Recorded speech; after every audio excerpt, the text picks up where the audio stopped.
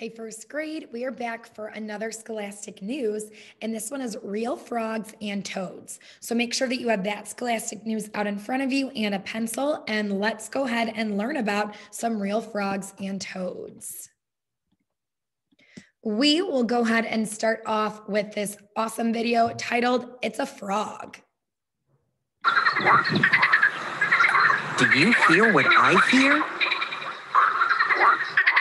It's a frog. Frogs come in all different sizes. Some are really big.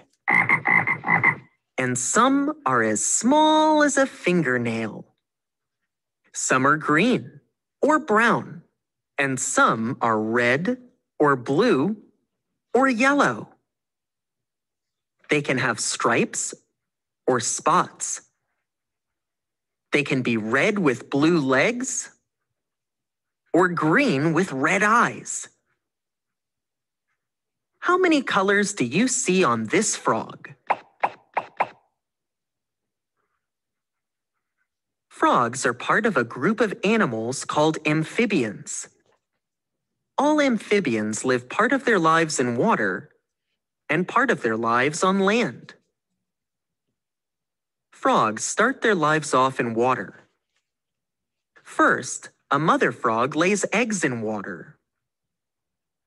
When the eggs are ready, pop! Out comes a baby frog called a tadpole.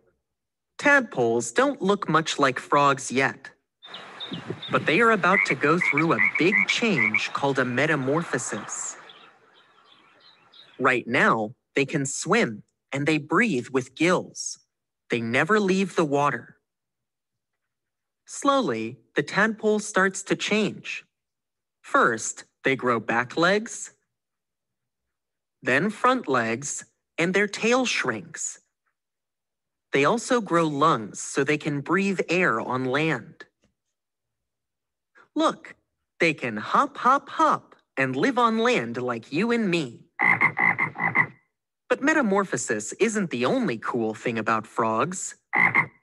A frog has an amazing body that helps it to escape from predators like this egret or this snake. Frogs have strong, skinny legs that they use to leap fast and far. They have big eyes right on top of the heads. They can see predators, but predators can't see them. Can you spot the frog? Frogs with colorful skin are often poisonous.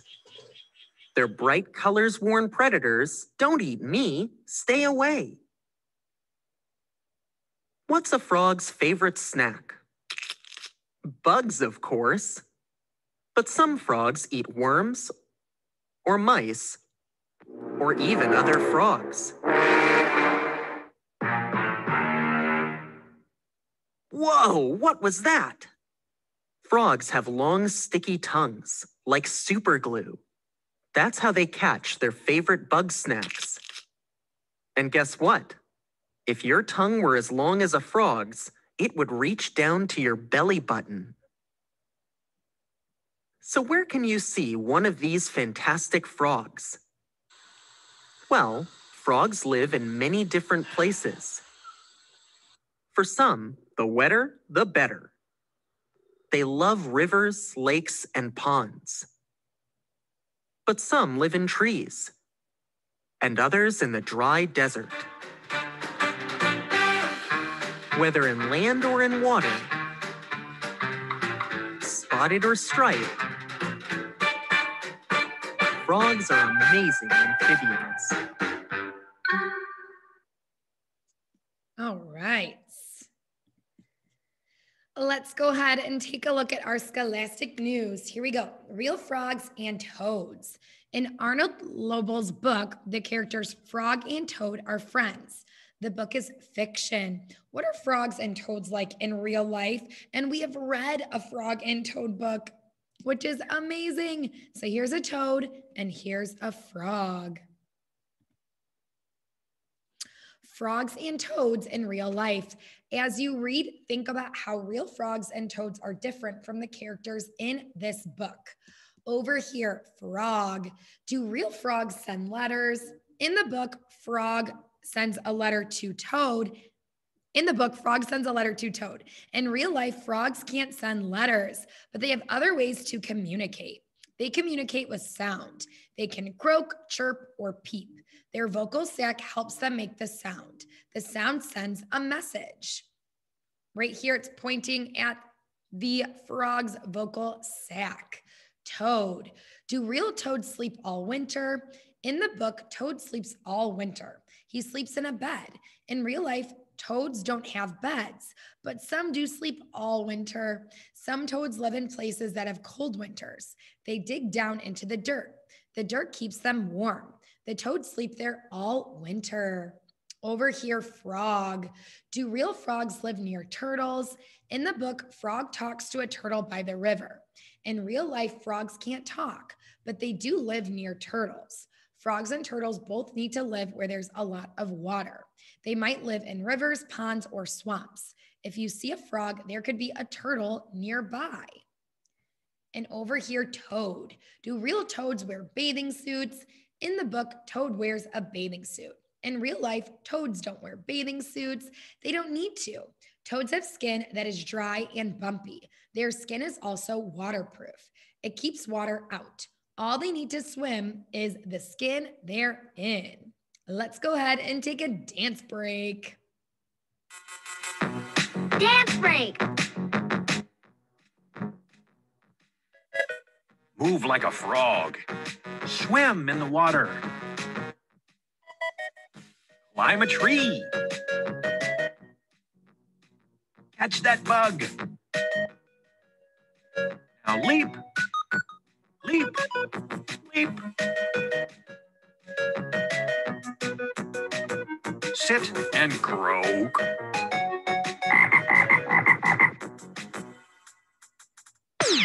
Freeze.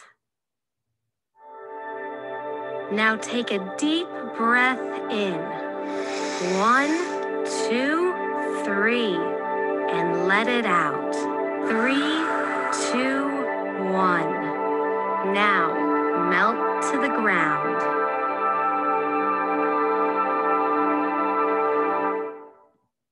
All right, let's take a look at our last page. It says frog and toad diagrams. Use the diagrams below to answer the questions.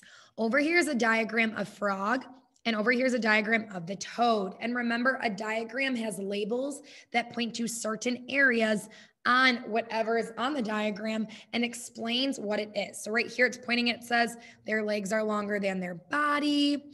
Right here, smooth, wet skin, and they usually get around by jumping. Over here for the toad, bumpy, dry skin, their legs are shorter than their body, and they usually get around by crawling.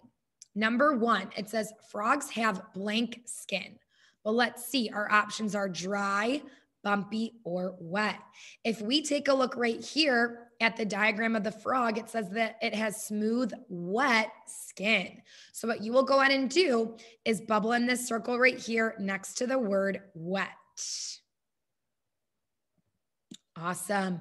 Okay, number two, toads usually get around by crawling, jumping, or swimming. Well, let's take a look right here in this toad diagram. It says they usually get around by crawling.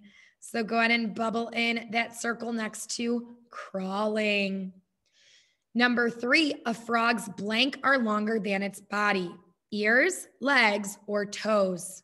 What do you think? Let's look over here. It says their legs are longer than their body. Go ahead and bubble in that circle next to legs.